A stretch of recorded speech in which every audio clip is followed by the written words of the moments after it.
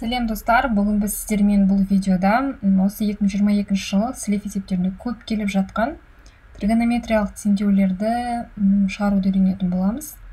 Алдымен осы каналға тіркеліп лайк басып пікір жазып кетуді ұмытпаңыздар.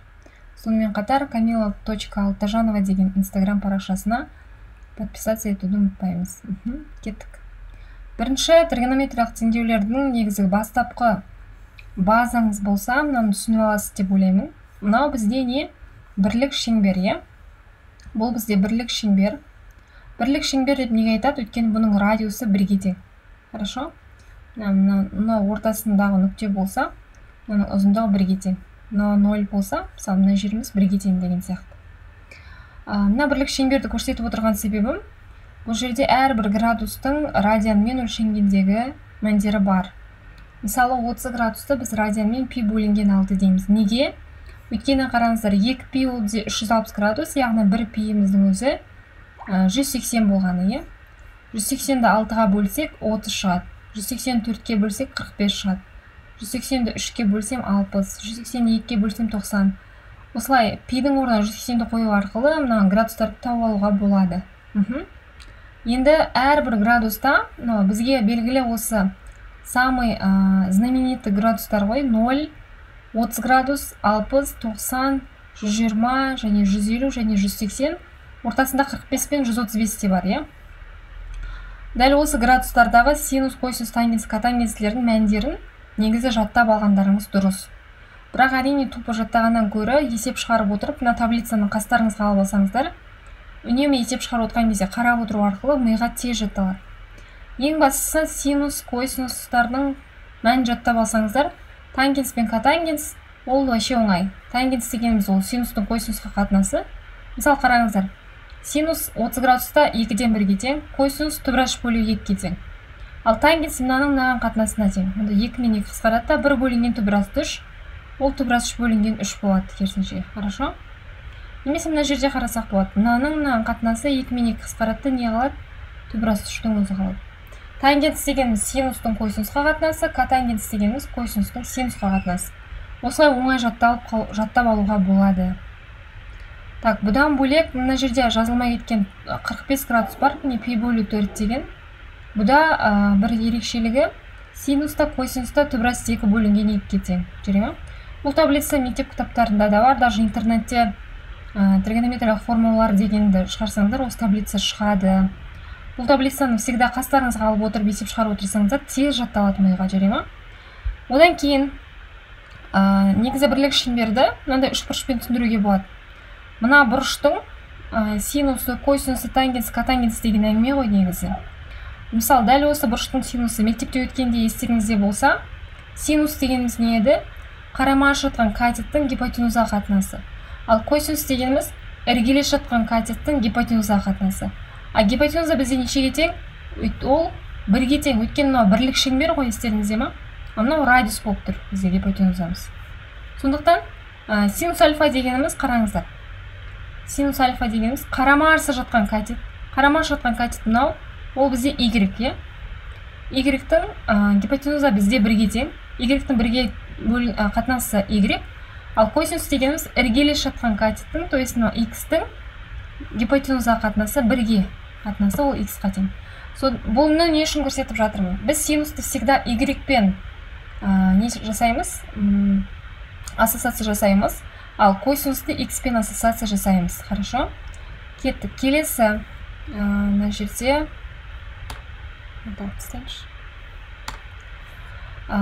мына таңбаларды қараңыздар. Таңбалануды білу де өте керек. Мысалы синустың ә, бірлік шеңбері иә? Мынау бірлік шеңбер. Синус қай, қай ширектерде? Мына төрт ширек бар ғой бізде. Қай ширектерде оң болады қай ширекте теріс болады. Жаңа айттық ә, синус ол y осымен ассоциациялар жасаймыз иә? y осі ол мынау ғой? Аха. Енді қараңыздар y осында мына жер ноль болады а мында жоғарысында оң сандар астында теріс сандар болады. И значит жоғарысында оң сандар болатын болса онда мына екі ширек оң ал мына екі ширек теріс потому что мына жақтың бәрі теріс. Ал косинус ол x пен ассоциация жасаймыз. Косинус x пен ассоциация жасасақ онда мына жеріміз 0 мынау 1 мынау минус 1 иә? Ондай жағдайда болса мына жеріміз плюс мына жағымыз теріс болады. Ал тангенс пен котангенстік тіпті оңай. Оларды ассоциация жасамайсыздар просто былай жасаймыз. Бірінші ширек па например плюсты плюсқа бөлсем плюс шығады. Плюсты минусқа бөлсем минус шығады. Минусты минусқа бөлсем мында плюс болады. Минусты плюсқа бөлсем минус болады деп осылай оңай таба салсақ болады. Именно таңбаларын айтып жатырмын енді ә, именно косинус пен синусқа қатысты мен алдыңғы сілік есептерінде айтып жүрмін ғой қайта қайта. Тамаша жағдай ерекше жағдай деген сияқты. Осы бір қазір айтып кететін алты ерекше жағдай бар. Бұларды осы мен түсіндіретін графикпен жаттап алсаңыздар вообще оп оңай. Хорошо? Так мынау бізде синус альфаның міне y осімен несі енді бізде мынандай теңдеу келеді мысалы есептерде. Синус x тең ноль деп келеді иә? Синус x қай нүктеде ноль? Мына жерде ноль иә? Қараңыз. Мынау y осі мына жерде ноль синус мына жерде бір мына жерде минус бір. Енді градустарға келейікші міне бағана айтып өткен мысалы мына жерде градус қандай градус? 0 градус. Мына жерде 90 градус. Мында 180 мында 270 иә так енді синус 0 қай жерде 0 мына нүктеде 0 және мына нүктеде екі нүктеде 0 екен синус. 0 деген нүктеде және 180 немесе пи деген нүктеде. Сонда ә, каждый 180 градус сайын біз синусты нольға теңестіріп тұрамыз. Мысалы мынау ноль болды 180 градус өттім тағы да ноль болды. Тағы 180 градус өттім қайтадан ноль болды. Осылай қайталанып тұра береді. Онда мен оны былай жазсам болады. X тең болады 0 плюс pn өйткені каждый пи сайын 0, 0 градус қой мына? 0 градусқа каждый pn қоса берсем ол синусым неге тең бола береді? Нольға тең бола береді. Немесе нольді жазбасақ мынау біздің жауабымыз. X тең pn деген. X тең pn дегеніміз осы синус x тең ноль деген теңдеудің жауабы. Жарай ма? Болды осылай ғана жазып қоясыздар. Мысалы сіздерде ең соңғы теңдеулерді ықшамдап ықшамдап келген соңында мынандай вариант шықса синус x тең ноль шығатын болса онда x тең pn деген ғана жауапты жазасыңдар болды. Келесі. Синус x тең бір болса. Синус x қай кезде бір? Мына жерде мына нүктеде бірге тең ал бұл бізде қандай градус? Бұл бізде 90 градус. Немесе радианмен алғанда бұл пи бөлінген екі деген градус. Иә? Ал ол каждый 180 сайын бірге тең болып тұра ма? Жоқ. Өйткені каждый мына мына бір, бір деген нүктеден 180 градус өтетін болсақ мынау минус бір деген нүкте. Жоқ. Значит ол каждый 360 градус сайын мына бір айналым жасаған сайын бірге тең болып тұрады. Сондықтан оған пиен емес екі пиен қосамыз. Жарай ма? Міне 90 градус и плюс екі пиен. Өйткені әрбір 360 градус сайын ол бірге тең болып тұр синусымыз. Енді синус x минус бірге тең. Минус бір дегеніміз мына нүкте иә? Бұл бізде 270 градус немесе радианмен алғанда бұл 3 пи бөлінген екі болады. 182-ге бөлсем 90 93-ге бөлсем 270 шығады иә? Каждый жүз алпыс градус айналып келген сайын ол минус бірге тең болып отырады. Сондықтан бұған да не қосамыз?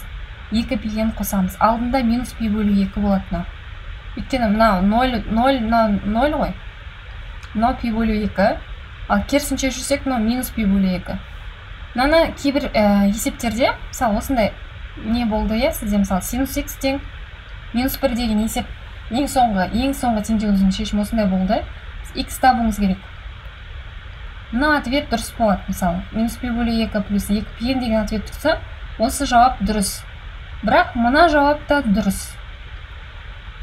Плюс екі пи деген жауап та дұрыс. Неге өйткені ол үш пи бөлу екі дегеніміз нөлден былай қарай санағанда үш пи бөлу екі болады. Ал нөлден кері қарай жүрсек ол минус пи бөлу екі деген жауапты дұрыс болады. Ә, неге деген сұрақ туылуы мүмкін да балалар более менее конкретно түсіндіргім келсе мысалы негізі синус икстің графигі бірлік шеңберде емес кәдімгі шын графигі мынадай мындай толқын сияқты шексіз кете береді. Ма былай былай былай кете береді ә, мына нүкте мысалы бір деген нүкте. Мына нүкте мысалы минус бір деген нүкте. Ал енді синус минус бірге мына нүктеде де тең мынада да тең мынада да тең мынада да тең. Мына нүкте бізде міне үш пи бөлу екі дегенді білдіреді. Ал мына нүкте міне ноль ғой. Мынау минус пи бөлу екі дегенді білдіреді. Сондықтан минус пи бөлу екі деген нүктесі де дұрыс үш пи бөлу екі деген нүктесі де дұрыс. Түсінікті ма? Түсіндіре алдым деп ойлаймын иә мына синус икстің графигі. Минус пи бөлу екі плюс екі пи немесе үш пи бөлу екі плюс екі пи деп жазсаңыздар да болады. Келесі косинустың тамаша нүктелері. Косинустың тоже үш нүктесі бар иә. Ноль. Косинус нольға қай кезде тең? Мына кезде тең және мына кезде тең. Бұл не 90 градус дегеніміз мына жер ғой. 90 градус и каждый 180 градус сайын 180-нен кейін мына жерде тоже 0 тағы 180 жүргеннен кейін мына жерде қайтадан 0 сол себепті пи бөлу 2 плюс пн просто 180 градус сайын бізде 0 болып тұрады косинус x тең 1 бір ол мына жерде. Ноль нүктесінде иә? И каждый екі пиен сайын өйткені мына жерде минус бір ғой. Қайтадан бір болу үшін ол бір айналым жасап келу керек. Үш жүз алпыс градус жасап келу керек. Сондықтан ноль плюс екі пиен немесе просто екі пиен деп жазсақ болады. Ал минус бірге ол мына нүктеде тең. Бұл бізде пи нүктесі яғни 180 градус. Пи плюс екі пиен деп жазсақ болады иә? Яғни екі пи жүргеннен кейін қайтадан осы минус бір нүктесіне келеді. Бұл бізде алты тамаша нүкте немесе алты тамаша жағдай деп айтуға болады. Именно осы случайларда ответтер дәл осындай болады. Ал қалған кездерде келесі көрсететін слайдтағыдай есеп шығарамыз. Мына осы алты теңдеуді жазып алыңыздар. Есеп шығарған кезде қарап отырып шығарыңыздар сол кезде миға тез жатталады. Даже мына шеңбермен қарап отырып жаттасаңыздар тіпті андай жаттап керек емес просто түсініп шығарып ала саласыздар. Келесі мысал қараңыздар енді бізде тамаша нүкте емес басқа нүктелер келетін болса қайтеміз. Мысалы екіден бір үштен бір деген сияқты сандар келіп қалса қайтеміз иә? Теңдеу негізі соңғы теңдеуіміз мынандай болып кетеді ғой. Синус икс тең бір сан болады. Хорошо? Сол қандай сан болады? Мысалы ноль бір минус бірден басқа бір. Любой сан болуы мүмкін ғой. Мысалы сендерде синус икс тең үштен бір. Немесе синус x тең болады тубрас үш бөлу екі деген сияқты сандар шығуы мүмкін иә осындай кезде теңдеуді дальше қалай шығарамыз? Бірақ бір ескеріп кететін жағдай балалар синус x тең модульдің ішінде бірден үлкен сан болатын болса ол ә, теңдеуді шешімі болмайды. Ол қалай? Мысалы именно бұл косинус x-қа да қатысы бар. Синус x тең екі деген теңдеудің шешімі жоқ. Келістік па? Өйткені синус бір мен минус бірдің арасында ғана жүре алады. Косинус та дәл солай. Ә, синус x тең минус екі дегенде жауап болмайды. Хорошо? Бұл ә, модулі бойынша бірден кіші болу керек. То есть бірден кіші сан болу керек. Минус бірден үлкен сан болу керек. Хорошо? Енді ә, бізде синус x тең ә, теріс сан болса мысалы минус үштен бір болса немесе минус екіден бір болса не істейміз? Мына формулаға жай ғана сала саламыз. Мысалы менде мынандай теңдеу келді. Синус x тең минус екіден бір деген болып қалды. Мен аламын да x тең болады минус бірдің n плюс бір дәрежесі дәл осылай жазамын. Арк синус именно санын ғана жазамын. Екіден бір плюс pn жаттап аламыз иә? Синуста всегда pn x тең болады. Арк синус екіден бір дегеніміз бағанағы таблица бар ғой ең алдындағы. Міне синус екіден бірге қай нүктеде тең? 30 градус пи бөлу алтыда тең осыған қараймыз. Синус екіден бір пи бөлу алты ма? Осының орнына мен пи бөлу алтыны қоямын плюс пи жауабы осы. Ответке осыны белгілейміз сонда. Түсінікті ма? Ал енді минус емес теріс емес оң сан болатын болса екеуінің айырмашылығы мынада n плюс бір болса мынада просто n болады. Сонда сендерге бір ғана формуланы жаттау керек қой. Просто теріс болып қалса мынаған плюс бір қосып бере саласыңдар. А так бәрі бірдей. Пи бөлу алты плюс пи мында просто плюс бір бар мында просто н түсінікті ма? Ал енді қараңдар балалар мынандай болып қалса шы біз жаңа таблицадан келіп тұр ғой екіден бір деген сан иә мысалы таблицада жоқ сан келіп қалса например жаңағындай синус x тең болады минус үштен бір болып қалса не істеймін? Онда x тең болады минус бірдің n плюс бір дәрежесі арк синус үштен бір плюс пи осы күйінде қалдырып кетеміз. Жарай ма өйткені үштен бір дегеннің бізде ә, градуспен жасалғандағы мәні жоқ. Таблицадағы жоқ сандарды просто арк синус үштен бір арк косинус осындай деп тастап кете береміз. Ал бізде таблицадағы бар сандар келетін болса мысалы таблицада қандай сан бар ә, минус түбірас үш бөлу екі бар плюс түбірас үш бөлу екі бар. Сосын синус икс тең болады. Ә, плюс минус түбірасты екі бөлу екі бар. Міне осы сандар келетін болса оларды градусқа яғни радианға айналдырып жазуға болады. Ал мында радианға айналдыра алмайтын сандарыңыз болса білмейтін осы күйінде тастап кете бересіз. Ответтерде де дәл осылай тұрады. Арксинус үштен бір плюс пигенде енді косинусқа кезекті берейік. Косинуста дәл солай теріс сан болатын болса міне косинус екс тең болады минус екіден бір болса формуласы тұр кішкене басқашалау. Плюс минус пи минус міне ар косинус аның орнына мына екіден бір деген санды қоямын плюс екі пи жаңағы таблицадан қараймын косинус екіден бірге алпыс градуста яғни пи бөлу үште тең екен. Пиген мынаны азайтамын пидан пи бөлу үшті азайтсам үштен ортақ бөлім беремін үш пидан пиді азайтсақ екі пи плюс минус екі пи бөлінген үш плюс екі пи ал енді оң болса тіпті оңай. Мына жерде оң болса.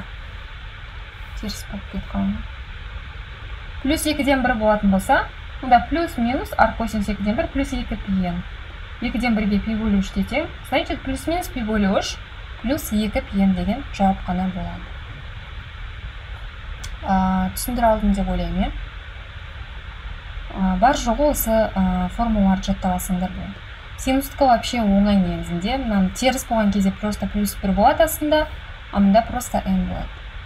Еще оның нелері пн пннан жүре ма ал косинустікінде кішкене пи минус бар алдында а мында просто арк косинус а плюс екі пн косинуста екі пн так.